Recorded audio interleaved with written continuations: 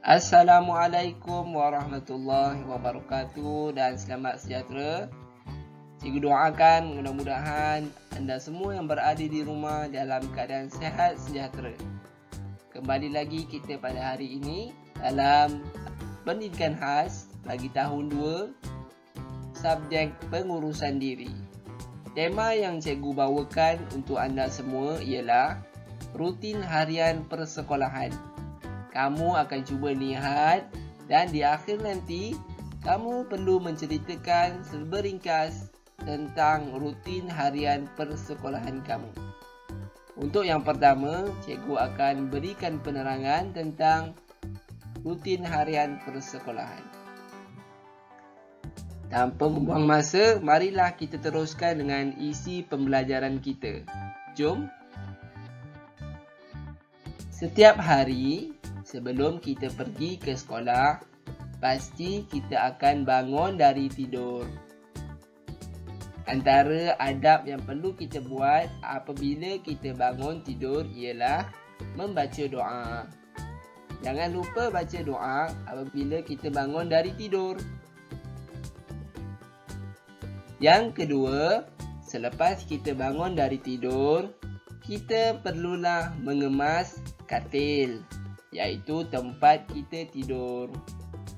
Kita perlu melipat cadar, melipat selimut dan menyusun bantal yang kita telah gunakan. Ini akan menjadikan ruang dan tempat yang kita tidur menjadi bersih dan kemas.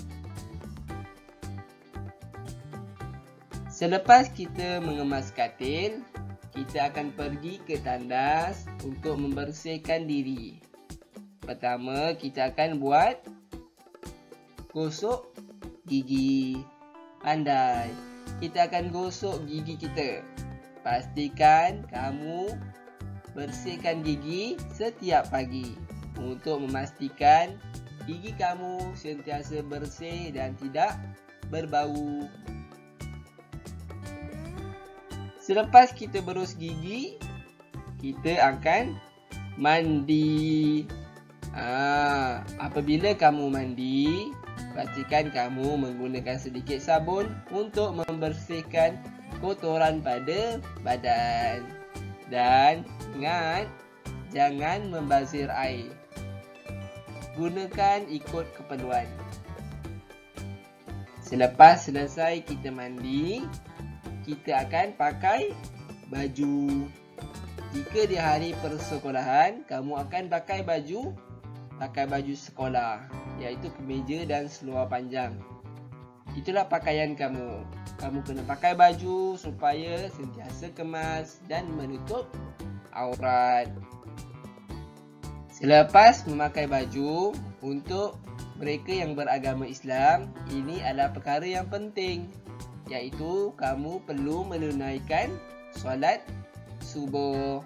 Solat subuh pada waktu pagi. Jangan kita tinggalkan. Okey? Selepas selesai kita solat subuh, tibalah masa untuk kita sarapan pagi. Sarapan pagi, kamu perlulah makan sedikit makanan untuk memberikan kamu tenaga ketika berada di sekolah. Jika kamu tidak makan sarapan, kamu kemungkinan akan sakit perut dan tidak bersemangat. Jadi, pastikan kamu ambil sarapan di rumah. Sama ada kamu minum air atau makan sekeping roti. Okey? Jadi, itulah serba ringkas tentang rutin harian persekolahan. Daripada kamu bangun tidur sehinggalah kamu sarapan pagi dan bersedia untuk datang ke sekolah. Jadi, tugasan untuk kamu, cikgu minta ibu dan bapa untuk rakam uh, video kamu menceritakan serba ringkas tentang apa yang kamu buat rutin harian kamu pada waktu pagi sebelum datang ke sekolah. Jadi cikgu doakan kamu semoga berjaya dan jaga diri. Assalamualaikum.